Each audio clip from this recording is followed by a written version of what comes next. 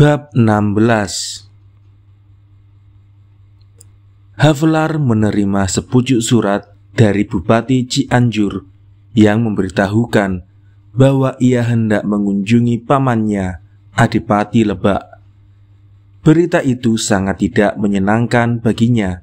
Ia tahu betapa kepala-kepala negeri di kabupaten-kabupaten Priangan biasanya memamerkan kemewahan dan betapa Temenggung Cianjur melakukan perjalanan demikian dengan iringan beratus-ratus orang yang harus disediakan tempat dan makannya bersama kuda-kudanya. Ia ingin mencegah kunjungan itu, tapi sia-sia. Ia memikirkan bagaimana cara menghindarkannya tanpa melukai hati Bupati Rangkas Betung, sebab bupati itu sangat congkak dan akan merasa sangat terhina jika kemiskinannya yang relatif dijadikan alasan untuk tidak mengunjunginya, dan jika kunjungan itu tidak dapat dihindarkan, maka pasti akan memberatkan beban yang ditanggung oleh penduduk. Kita ragu apakah pidato Havlar mempunyai pengaruh yang mendalam pada kepala-kepala negeri. Pada kebanyakannya pasti tidak, dan memang dia tidak mengharapkannya. Tapi pasti pula bahwa di dusun-dusun tersiar berita bahwa Tuan yang berkuasa di Rangkas Betung hendak menjalankan keadilan, dan sekalipun kata-katanya tidak berhasil mencegah kejahatan, namun korban-korban kejahatan itu telah timbul keberaniannya untuk mengadu, meskipun segan-segan dan bersembunyi-sembunyi. Mereka mengendap-endap malam hari melalui jurang, dan apabila Tine duduk di kamarnya, ia terkejut oleh bunyi gemersik tiba-tiba. Dan di depan jendela yang terbuka, ia melihat sosok-sosok hitam yang menyelinap-nyelinap dengan langkah ketakutan. Kemudian hilang kagetnya dan ia tenang kembali.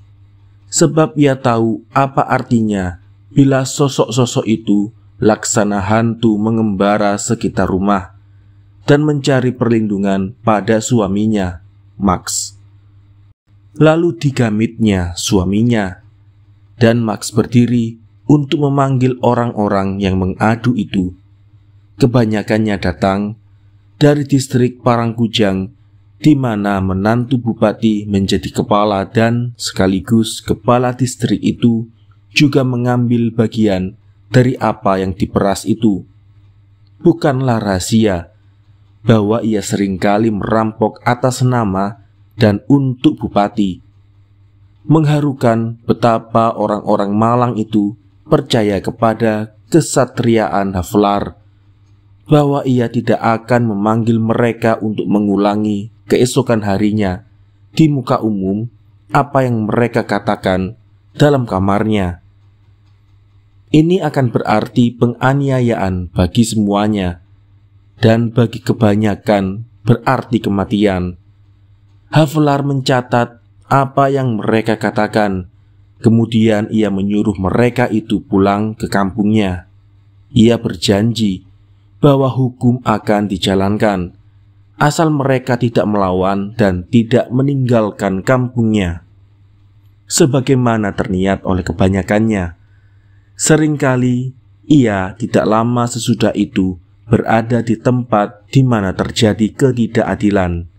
Ya, acap kali ia sudah ke sana, dan biasanya malam hari telah memeriksa perkara itu sebelum si pengadu sendiri kembali di tempat tinggalnya.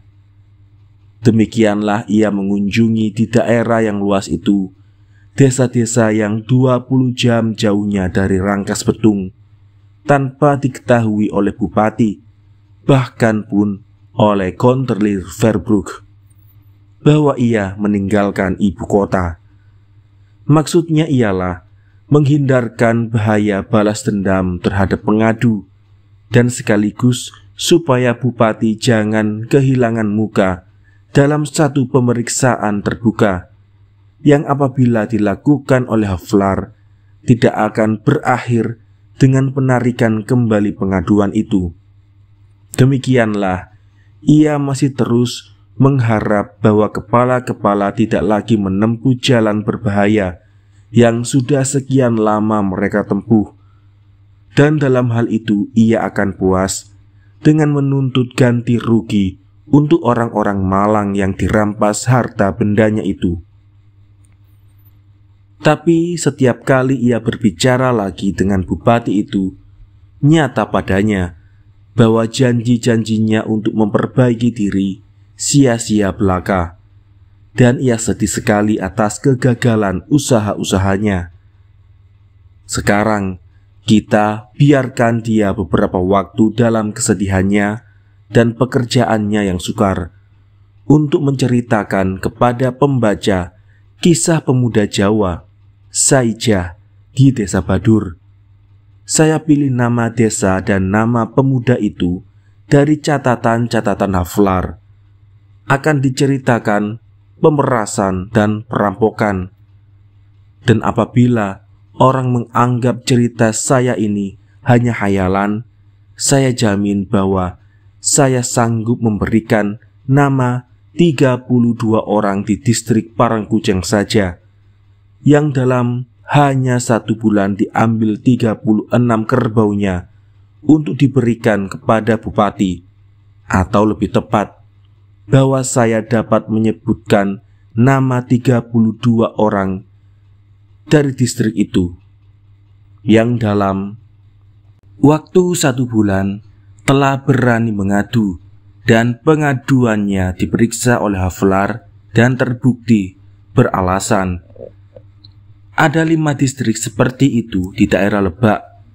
Jika orang beranggapan bahwa jumlah kerbau yang dirampas tidak begitu banyak di daerah-daerah yang tidak diperintah oleh menantu bupati. Hal itu mungkin saja, tapi dapat pula dipermasalahkan apakah sikap tak bermalu kepala-kepala yang lain tidak mempunyai dasar-dasar yang sama kuatnya seperti perkeluargaan kebangsawanan. Kepala distrik Cilangkahan di pantai selatan misalnya, meskipun tidak mempunyai seorang ayah mertua yang ditakuti, bertumpu pada pertimbangan betapa sukarnya untuk mengadu bagi orang-orang Malang yang harus menempuh jarak 40 sampai 60 batu sebelum mereka malam hari dapat bersembunyi di jurang dekat rumah Haflar. Dan jika diperhatikan pula sekian banyak orang yang berangkat dan tidak pernah mencapai rumah itu, sekian banyak orang yang tidak sampai berangkat dari desanya karena takut oleh pengalaman mereka sendiri atau oleh melihat nasib orang-orang lain yang mengadu. Maka saya kira salahlah orang yang beranggapan bahwa jika jumlah kerbau yang dicuri dari satu distrik dikalikan dengan lima. Jumlah hasil kalian itu terlalu tinggi bagi orang yang menanyakan statistik jumlah kerbau yang tiap bulan hilang dirampas dalam lima distrik untuk memenuhi keperluan rumah tangga dan keluarga Bupati Lebak. Dan bukan kerbau saja yang dirampas, malahan perampasan kerbau itu bukan kejahatan yang paling utama. Di Hindia, di mana pekerja rodi masih ada menurut hukum, diperlukan kurang sikap tak bermalu untuk mengerahkan rakyat melakukan pekerjaan tak dibayar dengan melawan hukum. Lebih kurang dari yang diperlukan untuk mengambil hak milik orang. Lebih mudah membohongi rakyat bahwa pemerintah memerlukan tenaganya tanpa membayarnya daripada meminta kerbaunya dengan cuma-cuma. Dan meskipun orang Jawa yang penakut itu berani menyelidiki apakah pekerjaan Rodi yang dituntut orang daripadanya itu sesuai dengan peraturan-peraturan, hal itu juga tidak akan mungkin baginya. Sebab yang seorang tidak mengetahui tentang yang lain, dan karena itu tidak dapat menghitung apakah jumlah orang yang ditentukan itu telah terlampaui 10 kali atau 50 kali. Jadi, di mana hal yang lebih berbahaya, hal yang lebih mudah diketahui, dilakukan dengan keberanian yang begitu besar, bagaimanakah halnya dengan penyalahgunaan-penyalahgunaan yang lebih mudah dilakukan dan lebih tidak berbahaya akan diketahui. Telah saya katakan bahwa saya akan menceritakan sejarah pemuda Jawa Saijah. Tapi lebih dulu saya terpaksa menyimpang. Hal mana tak dapat dihindarkan jika kita hendak menggambarkan keadaan-keadaan yang asing sama sekali bagi pembaca. Pertalian dengan itu, saya akan menyebut pula sebab-sebab yang sangat menyukarkan bagi orang bukan bumi putra untuk menanggapi hal-hal di negeri Hindia. Berkali-kali saya berbicara tentang orang Jawa, dan betapapun wajarnya hal ini bagi pembaca di Eropa, penamaan itu kedengarannya kurang benar bagi orang yang kenal Pulau Jawa. Residensi-residensi di sebelah barat, yakni Banten, Betawi, Priangan, Kerawang, dan sebagian dari Cirebon semuanya disebut tanah Sunda dan dianggap tidak termasuk daerah Jawa yang sebenarnya. Penduduk aslinya sungguh lain dari penduduk di Jawa Tengah atau di daerah yang disebut Ostok, pojok timur. Apalagi mereka yang datang dari seberang lautan di daerah-daerah yang disebut terdahulu, bahasanya watak suku bangsa adat istiadat, pakaian sangat berbeda daripada mereka yang tinggal lebih ke timur, sehingga sesungguhnya lah orang Sunda dibandingkan dengan orang yang disebut orang Jawa sebenarnya lebih besar bedanya dari seorang Inggris terhadap orang Belanda. Perbedaan-perbedaan demikian sering kali menimbulkan pertikaian dalam menilai banyak hal-hal di negeri Hindia. Jika dipikir bahwa Pulau Jawa saja terbagi dengan tajam dalam dua bagian yang tidak sama, belum lagi kita memperhatikan sekian banyak pembagian kecil-kecil dari pembagian besar itu. Dapatlah dibayangkan betapa besar perbedaan yang mestinya ada antara suku bangsa-suku bangsa yang tinggalnya lebih berjauhan dan dipisahkan oleh laut. Barang siapa mengenal Hindia Belanda hanya dari Pulau Jawa pun tidak dapat mempunyai gambaran yang tepat tentang orang Melayu, orang Ambon, orang Batak, orang Alifuru, orang Timor, orang Dayak, atau orang Makassar. Sama saja seolah-olah ia tidak pernah meninggalkan Eropa. Karena itu, bagi orang yang mendapat kesempatan melihat perbedaan antara suku bangsa-suku bangsa itu, acap kali terasa lucu mendengar percakapan-percakapan dan terasa sedih membaca pidato-pidato orang-orang yang mendapat pengetahuannya mengenai soal-soal di Hindia, di Betawi, atau di Bogor. Berkali-kali saya merasa heran melihat keberanian Misalnya seorang bekas gubernur jenderal yang di dalam majelis perwakilan rakyat mencoba memberikan arti kepada kata-katanya dengan mengemukakan pengetahuan dan pengalamannya yang semu tentang tempat-tempat. Saya sangat menghargai pengetahuannya yang diperoleh dengan studi yang mendalam di ruang pustaka, dan sering saya takjub dengan luasnya pengetahuan beberapa orang mengenai soal-soal negeri Hindia tanpa pernah menjejak buminya. Dan apabila seorang bekas gubernur jenderal membuktikan bahwa ia beroleh pengetahuan dengan cara itu, maka seharusnya lah orang merasa hormat kepadanya sebagai ganjaran yang pantas bagi pekerjaan bertahun-tahun, cermat, dan berguna lebih besar lagi hendaknya hormat ia kepadanya dari kepada seorang ahli ilmu pengetahuan yang tidak begitu banyak menemui kesukaran. Karena yang tersebut kemudian ini dari jarak yang jauh tanpa pengamatan tidak begitu mudah membuat kekeliruan sebagai akibat pengamatan yang tak cukup, seperti halnya bekas gubernur jenderal itu.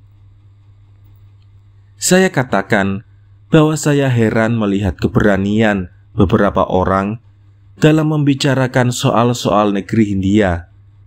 Mereka mestinya tahu bahwa perkataannya kedengaran juga oleh orang lain dari yang beranggapan bahwa cukuplah tinggal beberapa tahun di Bogor untuk mengenal Hindia.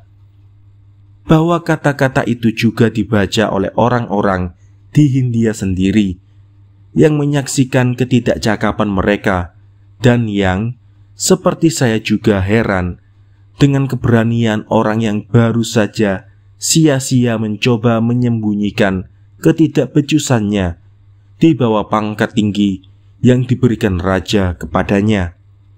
Tapi sekarang, tiba-tiba berbicara seolah-olah ia tahu betul soal-soal yang dibicarakannya.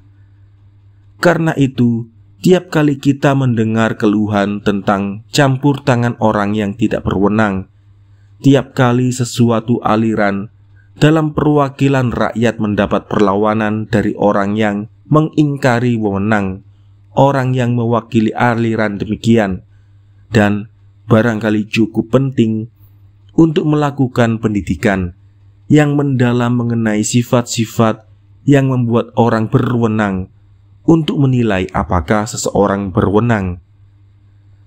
Seringkali sesuatu pertanyaan yang penting diuji bukan kepada soal yang dibicarakan, tapi kepada nilai orang yang mengemukakan pendapat tentang soal itu.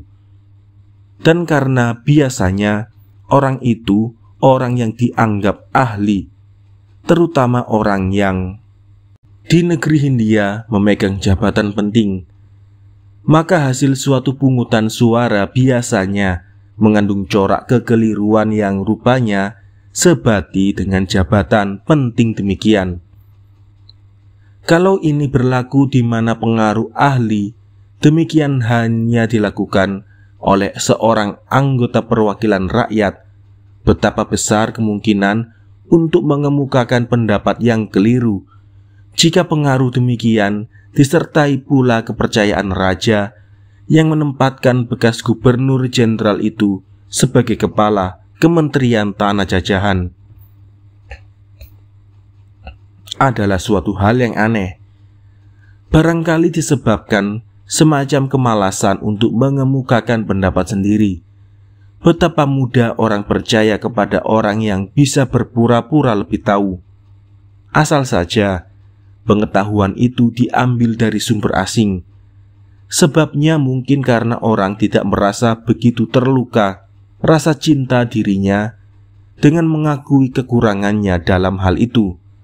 Lain halnya jika orang dapat mempergunakan sumber yang sama, bukan sumber asing, maka terjadilah semacam persaingan.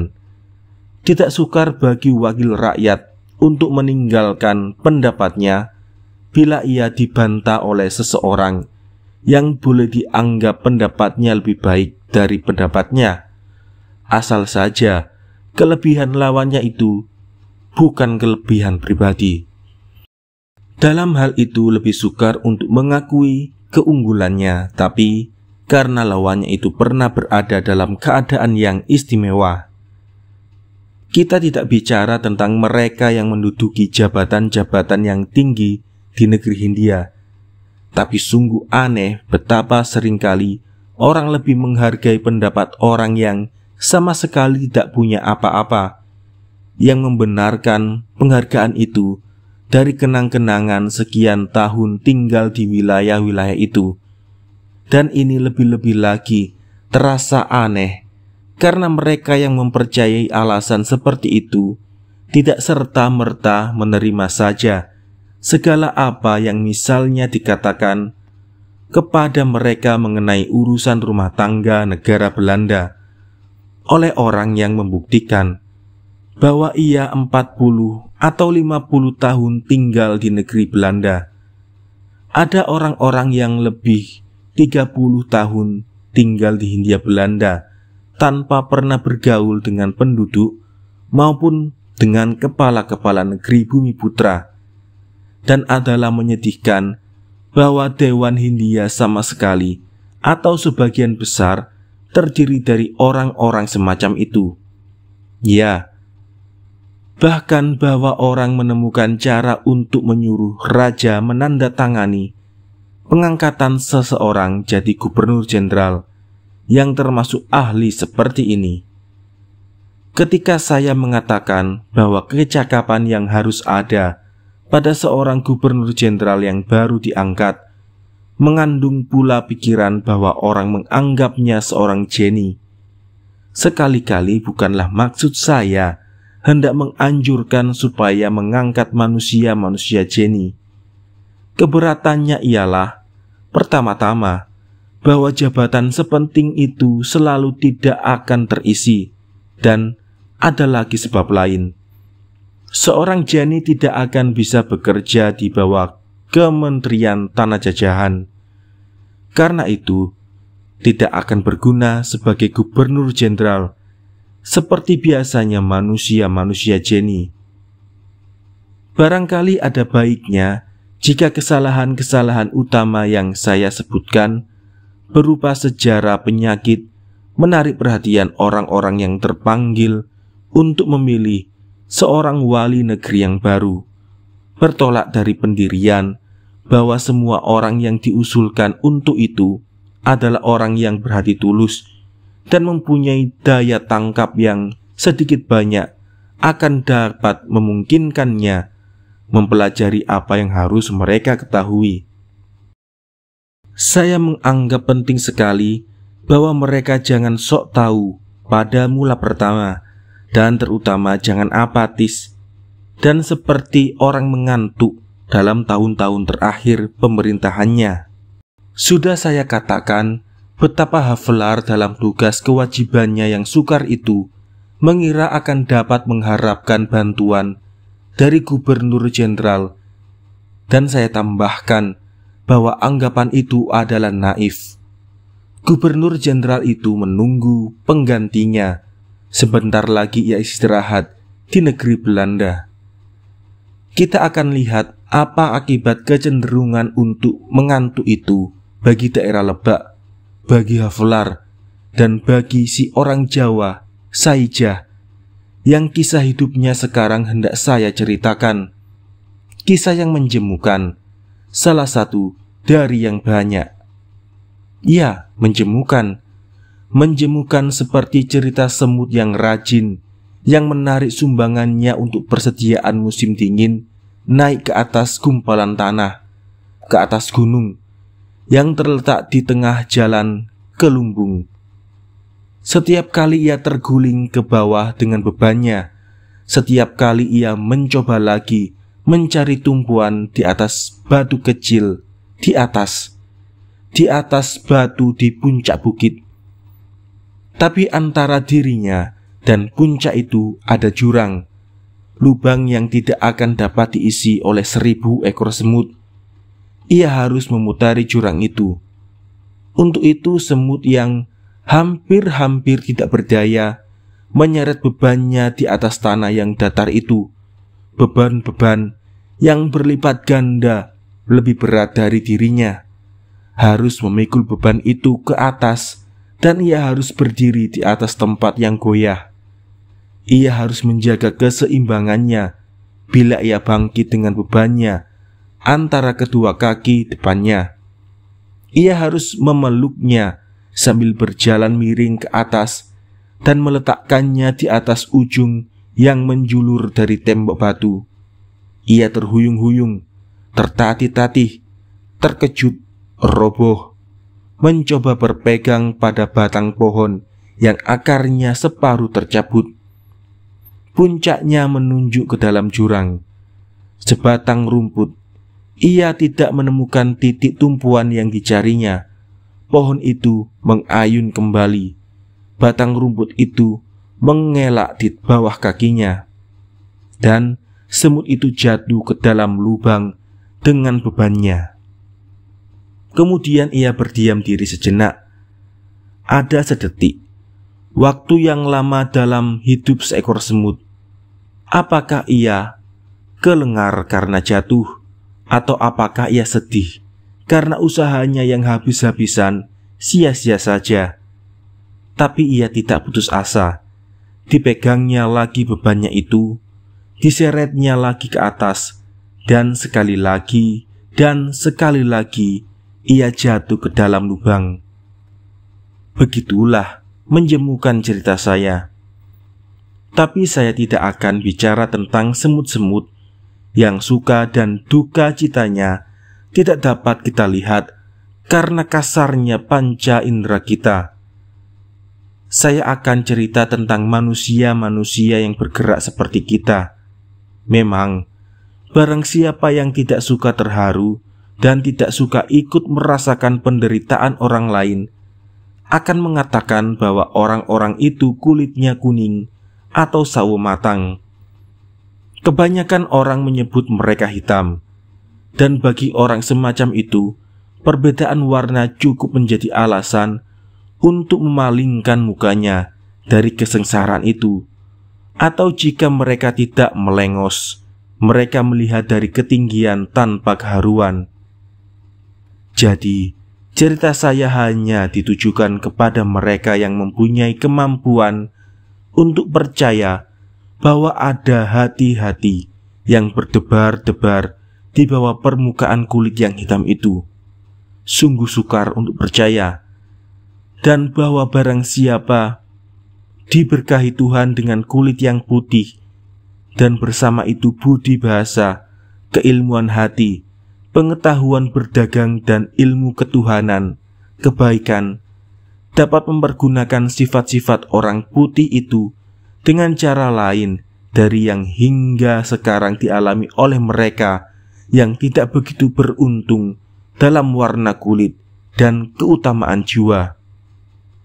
Saya percaya Anda turut merasa dengan penderitaan orang Jawa tapi tidaklah sedemikian rupa hingga saya bila menggambarkan bagaimana kerbau yang terakhir dirampas dari kandang pada siang hari tanpa malu-malu dengan perlindungan kekuasaan Belanda. Bila saya gambarkan lembu yang dirampas diikuti oleh yang punya dan anak-anaknya yang menangis Bila saya gambarkan orang itu duduk di atas tangga rumah perampok itu, tanpa bicara dan termangu-mangu dan tenggelam dalam duka cita. Bila saya gambarkan ia diusir dengan caci maki, diancam akan didera dengan rotan, dan dijebloskan dalam penjara. Nah, saya tidak meminta dan saya pun tidak mengharap bahwa Anda akan terharu karenanya. Sama terharunya seperti bila saya melukiskan nasib seorang petani kulit putih yang dirampas sapinya. Saya tidak meminta Anda mencucurkan air mata bersama air mata yang mengalir pada wajah-wajah yang begitu hitam. Saya pun tidak meminta rasa amarah dari hati yang mulia. Jika saya bicara tentang keputusasaan orang-orang yang kena rampok, saya juga tidak mengharap Anda bangkit. Dan dengan buku saya ini di tangan, pergi kepada raja dan berkata, "Lihatlah, hai raja, ini terjadi dalam kerajaan Anda di Insulinde, kerajaan Anda yang kaya dan indah." Tidak, tidak. Saya tidak mengharapkan semuanya itu. Terlalu banyak penderitaan sekitar Anda yang memenuhi perasaan Anda, hingga tidak banyak lagi perasaan yang tinggal untuk penderitaan yang begitu jauhnya. Bukankah kemarin bursa lesu-lesu saja? Dan bukankah pasaran kopi terancam penurunan harga karena agak banyak penawaran? Janganlah menulis hal-hal yang bukan-bukan seperti itu kepada ayah Mustren, kata saya Dan barangkali saya mengatakannya agak marah, sebab saya tidak suka kebohongan. Itulah senantiasa prinsip saya yang tidak bisa diganggu gugat. Malam itu saya segera menulis surat kepada Stern senior supaya ia bergegas-gegas dan berhati-hati terhadap berita-berita palsu. Pembaca tentu merasa apa yang saya alami waktu mendengarkan bab-bab yang terakhir di kamar anak-anak saya menemukan kartu-kartu permainan soliter. Dan saya bawa ke pertemuan. Benar juga, kata saya, bahwa Salman itu membuat gila semua orang dengan bungkusannya. Dapatkah kita mengenal kembali pemuda-pemuda yang dibesarkan dalam keluarga yang mulia dalam tulisan-tulisan seren itu? Fritz juga turut menulis, itu pasti. Mereka mengkritik-kritik orang yang sakit rindu tinggal di luar kota. Mengapa? Apakah mereka maksudkan saya? Apakah saya tidak boleh pergi ke Tribergen jika Fritz jadi maklar? Dan siapa pula yang bicara tentang sakit perut jika ada wanita-wanita dan gadis-gadis? Sudah prinsip saya yang tak dapat diganggu gugat untuk selalu tetap tenang, sebab saya anggap itu berguna dalam perdagangan. Tapi saya harus mengakui bahwa sering kali sukar bagi saya untuk tetap tenang jika mendengarkan kegilaan-kegilaan yang dibacakan oleh Stern itu. Apa maunya? Apa akhirnya? Kapan ia membacakan sesuatu yang mantap? Apa peduli saya apakah Havlar itu membersihkan kebunnya, dan apakah orang masuk ke rumahnya dari depan atau dari belakang. Pada Buseling dan Waterman, orang harus melalui lorong sempit dekat sebuah gudang minyak yang selalu kotor. Dan ocehan tentang kerbau-kerbau itu. Apa gunanya mereka punya kerbau, orang-orang hitam itu? Saya tak pernah punya kerbau, Meskipun demikian, saya senang. Ada orang yang selalu mengeluh, dan celaannya terhadap kerja paksa itu tampak bahwa ia tidak mendengar khotbah pendeta Wawelar. Kalau pernah, tentu ia tahu betapa berguna orang bekerja untuk perluasan kerajaan Tuhan. Benar juga, ia pengikut Luther Memang, jika saya tahu lebih dahulu bagaimana ia akan menulis buku ini, yang harus menjadi buku penting buat semua maklar kopi dan orang lain, lebih baik saya mengerjakannya sendiri. Tapi ia dibela oleh keluarga Rosmeyer yang berdagang gula, dan itu membuatnya jadi begitu berani. Terus terang saya katakan, sebab saya jujur dalam hal-hal itu bahwa dongeng tentang Saija itu boleh dihilangkan saja. Tapi tiba-tiba Louis Rosemeyer menentang saya. Rupanya Stern telah mengatakan kepadanya bahwa ada soal cinta di dalamnya. Dan gadis-gadis semacam dia suka sekali cerita-cerita demikian. Tapi ini tidak akan begitu menjadikan saya segan jika anak-anak Rosemeyer itu tidak mengatakan kepada saya bahwa mereka ingin berkenalan dengan Ayastron.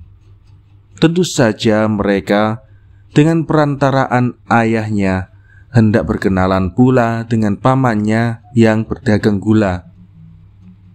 Jika saya terlalu berpihak kepada pikiran sehat dan menentang Stern Junior, maka saya seolah-olah hendak menjauhkan mereka dari Stern dan ini sama sekali tidak demikian, sebab mereka itu berdagang gula. Saya sama sekali tidak mengerti maksud Stern dengan tulisannya. Selalu ada saja orang yang tak puas, dan apakah pantas jika ia yang begitu banyak menikmati kebaikan di negeri Belanda dalam minggu ini istri saya baru saja membuatkan teh Kamilia baginya. Mencaci maki pemerintah. Apakah ia hendak memarakkan ketidakpuasan umum? Apakah dia hendak jadi gubernur jenderal? Dia cukup sombong untuk itu. Maksud saya, untuk menghendaki jabatan itu. Saya tanyakan itu kemarin dulu kepadanya, dan saya tambahkan pula bahwa bahasa Belandanya masih kurang baik. Oh, itu tidak jadi keberatan, jawabnya. Nampaknya jarang gubernur jenderal dikirim ke sana yang mengerti bahasa orang di negeri itu. Apa yang harus saya lakukan dengan orang yang sok tahu seperti itu. Ia sama sekali tidak menghormati pengalaman saya.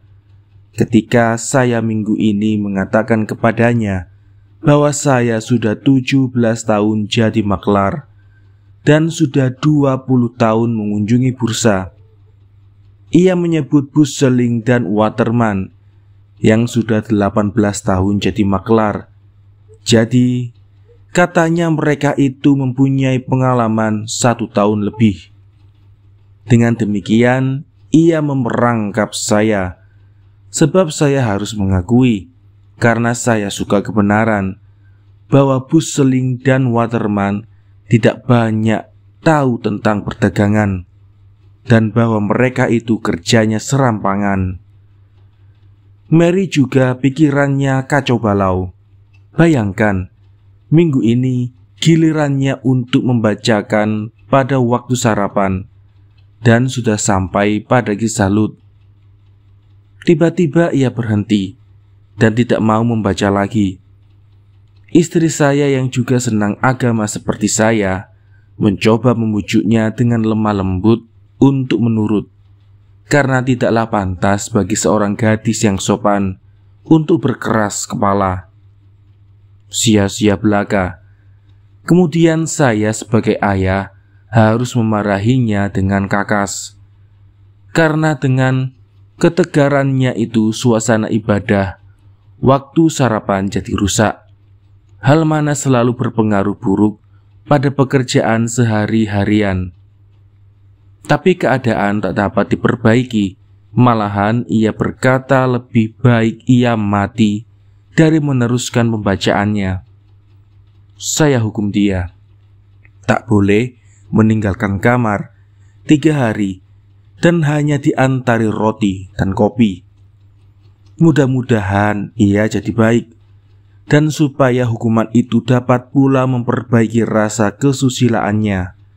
Saya suruh dia menuliskan bab yang tak mau dibacanya itu sepuluh kali dan tindakan keras ini terutama saya lakukan karena saya lihat bahwa ia dalam waktu belakangan ini saya tidak tahu apakah ini pengaruh Stern menerima pengertian-pengertian yang saya rasa berbahaya bagi kesusilaan yang saya dan istri saya sangat junjung tinggi. Antara lain saya dengar ia menyanyikan lagu Perancis lagu Branger, saya kira, di mana ia menyatakan perasaan kasihnya kepada seorang pengemis perempuan tua yang waktu mudanya menyanyi di teater. Dan kemarin waktu sarapan ia tak memakai korset. Mary maksud saya, yang sungguh tidak sopan. Juga harus saya akui bahwa Fritz sedikit sekali membawa pulang berkat dari gereja. Saya sudah senang waktu melihatnya duduk diam-diam di gereja. Ia tidak bergerak dan matanya tidak berkisar dari mimbar. Tapi kemudian saya dengar bahwa Betsy Rosemeyer duduk di pagar baptisan. Saya tidak menegur mereka sebab kita tidak boleh terlalu keras terhadap anak muda dan keluarga Rosemeyer itu keluarga baik-baik. Anak gadis mereka yang paling tua yang kawin dengan Bragerman, pedagang rempah-rempah. Mereka beri mas kawin yang lumayan. Dan karena itu saya kira Fritz tidak tertarik ke pasar barat. Dan saya senang karenanya, sebab saya orang yang menjunjung tinggi kesopanan. Namun saya merasa sedih juga melihat bahwa Fritz hatinya membatu seperti Fir'aun. Tapi Fir'aun tidak begitu besar dosanya karena ia tidak mempunyai seorang ayah yang selalu menunjukinya jalan yang benar. Sebab tentang Fir'aun senior, Alkitab tidak mengatakan apa-apa. Pendeta Wawelar mengeluh tentang kesombongannya. Kesombongan Fritz maksud saya. Waktu katekisasi dan rupanya ia lagi-lagi dari bungkusan Shalman mengambil suatu sok kepintaran yang membuat marah Wawelar yang lemah lembut itu Bukannya ia menerima apa yang tersebut dalam Alkitab, dan orang kan harus menerimanya. Sebab dalam Alkitab sendiri dikatakan bahwa orang harus percaya. Malahan ia memajukan bermacam-macam pertanyaan. Apakah cahaya sebelum ada matahari? Apakah Melchizedek membawa kepercayaan yang sebenarnya? Apa yang terjadi jika Hawa tidak memakan apel itu? Apakah adikku masuk neraka karena ia mati sebelum dibaptis? Di manakah polisi ketika Petrus menghukum Ananias dan Safira hingga mati? Apakah Yesus memakai kaus dan apakah ia bersorban? Berapa jauh ia naik ke langit sebelum tiba di tepi atmosfer kita, dan ke mana ia pergi selanjutnya? Mengapa ia kurang ajar kepada ibunya ketika ibunya mencarinya? Apakah ada pengadilan mengenai harga babi-babi yang dihalau ke dalam air? Untuk apakah babi-babi itu di negeri yang melarang orang memakan daging babi? Bagaimana urusan warisan orang-orang yang bangkit kembali dari kuburnya? Mengapa Jehezkiel harus makan kotoran? Apakah kerja yang maha kuasa jika hukum alam sudah sempurna? Mengapa manusia baru diselamatkan empat ribu tahun sesudah penciptaan? Mengapa Tuhan mengizinkan banyak orang menolak untuk diselamatkan. Mengapa setan berkuasa jika Kristus telah mengalahkannya? Bukankah Konstantin Agung seorang pembunuh yang keji? Apakah sebabnya banyak abad-abad sesudah Kristus tidak begitu beradab seperti abad Agustus? Mengapa kita menutup rumah kita di negeri yang beragama Kristen?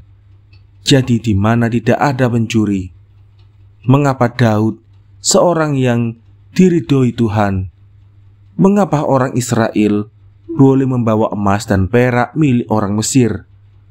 Mengapa Yesus putra Daud, jika Yusuf yang adalah keturunan Daud, bukan ayahnya? Bagaimana kita tahu bahwa Tuhan agung jika kita tidak mengertinya? Apakah Yudit seorang perempuan yang baik? Bagaimana Nuh mendapatkan dua ekor beruang es untuk bahteranya? Dari mana datangnya orang-orang yang tidak boleh membunuh Kain? Apa yang terjadi jika dua orang yang beriman masing-masing berdoa untuk melawan yang lain? Dan seterusnya. Anda boleh bayangkan betapa wawelar yang yakin akan cinta kepada kebenaran yang adalah kehidupan, merasa duka cita atas pertanyaan-pertanyaan terlarang demikian. Mengharukan betapa kaki-kaki yang mulia itu yang sering minum kopi di rumah kami mencoba memengaruhi perasaan Fritz dan betapa anak nakal itu terus juga memajukan pertanyaan-pertanyaan lain yang menunjukkan ketegaran hatinya. Semua itu gara-gara bungkusan terkutuk si Salman itu. Dengan air mata perasaan pada pipinya, hamba kitab Injil itu mencoba memengaruhinya untuk melepaskan hikmat menurut manusia dan masuk ke dalam serba rahasia hikmat Tuhan. Dengan lemah lembut ia memohon kepadanya, janganlah hendaknya menolak roti kehidupan abadi. Dan dengan demikian jatuh ke dalam cengkraman setan yang menghuni neraka dengan kawan-kawannya, neraka yang disediakan untuknya selama-lamanya. Oh, katanya kemarin, wawelar maksud saya. Oh sahabatku belia, bukalah mata dan telingamu, dan dengar, dan lihatlah apa yang Tuhan perlihatkan, dan perdengarkan kepadamu melalui mulutku. Perhatikanlah kesaksian orang-orang suci yang mati untuk agama yang benar. Lihatlah Stefanus, bila ia roboh di bawah batu-batu yang menghancurkannya, lihatlah betapa matanya masih menengadah ke langit dan betapa lidahnya masih menyanyikan mazmur. Saya lebih suka melempar kembali, kata Fritz kemudian, pembaca, apa yang harus saya lakukan dengan anak itu? Sebentar kemudian Wawelar mulai lagi, sebab dia adalah seorang hamba yang rajin dan tidak berhentinya bekerja. Oh sahabatku belia, katanya, bukalah permulaannya seperti yang tadi juga. Dapatkah Anda bermasa bodoh memikirkan apa yang akan terjadi dengan Anda? Jika sekali waktu Anda dimasukkan ke dalam golongan kambing jantan pihak kiri. Tiba-tiba anak nakal itu tertawa terbahak-bahak. Fritz maksud saya. Dan Mary pun tertawa. Malahan saya merasa wajah istri saya pun seperti mau tertawa. Menyuruhnya membayar denda dari celengannya kepada persekutuan Patri. Tapi semua itu sungguh-sungguh mengharukan saya. Dalam penderitaan semacam itu, dapatkah kita bersenang-senang mendengarkan cerita-cerita tentang kerbau dan orang Jawa? Apakah arti seekor kerbau dibandingkan dengan keselamatan jiwa Fritz. Apa peduli saya dengan urusan orang-orang yang jauh itu? Jika saya diganggu ketakutan bahwa Fritz karena tidak percayanya merusak perdagangan saya sendiri dan bahwa ia tidak pernah bisa menjadi makelar yang jempol. Sebab Wawelar sendiri mengatakan bahwa Tuhan mengatur segalanya begitu rupa sehingga barang siapa yang saleh, dia akan menjadi kaya. Lihat saja, katanya, bukankah banyak kekayaan di negeri Belanda? Itu disebabkan karena kepercayaan agama. Bukankah di Perancis orang selalu berbunuh-bunuhan? Itu disebabkan karena mereka di sana beragama Katolik. Bukankah orang Jawa miskin? Mereka itu kafir lebih lama orang Belanda bergaul dengan orang Jawa. Tambah kaya kita di sini dan tambah miskin mereka di sana. Saya kagum betapa tajam pandangan Wawelar dalam soal-soal perdagangan. Sebab sebenarnya lah saya yang teliti menjalankan agama, mengalami kemajuan dalam perdagangan dari tahun ke tahun. Sedangkan Puseling dan Waterman yang tidak menghiraukan Tuhan ataupun perintah agama akan tetap bekerja serampangan selama hidupnya. Pun keluarga Rosmeyer yang berdagang gula dan mempunyai pelayan Roma Katolik baru-baru ini terpaksa pula mengambil 27% dari harta peninggalan seorang Yahudi yang melakukan kesalahan. Makin banyak saya berpikir makin jauh saya menyelidiki jalan-jalan Tuhan yang tidak terselidiki. Baru-baru ini ternyata bahwa ada keuntungan bersih lagi sebesar 30 juta atas penjualan hasil-hasil yang dikirimkan oleh orang-orang penyembah berhala. Belum lagi dihitung keuntungan saya atasnya dan orang-orang lain yang hidup dari perdagangan itu. Bukankah seolah-olah Tuhan berkata, Itulah 30 juta sebagai ganjaran keimananmu. Bukankah itu pekerjaan Tuhan yang menyuruh orang jahat bekerja untuk menyelamatkan orang yang baik? Bukankah itu suatu isyarat untuk meneruskan perjalanan di jalan yang benar dan menyuruh mereka di sana menghasilkan banyak, sedangkan kita di sini bertahan pada agama yang benar? Bukankah karena itu dalam Alkitab dikatakan, berdoa dan bekerjalah, supaya kita berdoa dan menyuruh kerja bangsa yang tidak mengenal doa. Ya, Bapak kami. Oh, betapa benarnya perkataan Wawelar apabila ia menyebut gandar Tuhan lembut. Alangkah ringannya beban bagi orang yang beriman. Umur saya empat puluh lebih dan saya bisa saja berhenti kalau mau dan pergi ke Tribergen. Dan lihatlah bagaimana jadinya dengan orang lain yang meninggalkan Tuhan. Kemarin saya melihat Salman dengan istrinya dan anaknya. Mereka itu seperti hantu. Dia pucat seperti mayat, matanya melotot dan pipinya cekung. Punggungnya bungkuk meskipun ia lebih muda dari saya. Istrinya pun pakaiannya buruk, dan nampaknya ia baru menangis lagi. Saya segera tahu bahwa ia seorang yang selalu tak puas. Saya cukup sekali melihat orang untuk menilainya, karena saya punya pengalaman. Ia memakai mantel tipis dari sutra hitam, padahal udara cukup dingin Krinolin sama sekali tak nampak. Gaunnya yang sederhana terkulai pada lututnya dan pinggirnya serumbai-rumbai. Shalman malahan tidak lagi pakai shal, seolah-olah musim panas. Namun, nampaknya ia masih mempunyai semacam kebanggaan, sebab ia memberikan sesuatu kepada seorang perempuan miskin yang duduk di atas pintu air Fritz bilang jembatan, tapi apa yang terbuat dari batu tanpa jungkatan saya sebut pintu air. Dan barang siapa yang untuk dirinya sendiri tidak banyak punya apa-apa, berdosa jika ia masih memberikan sesuatu kepada orang lain. Lagi pula, saya tidak memberi apa-apa di tengah jalan. Itu adalah prinsip saya.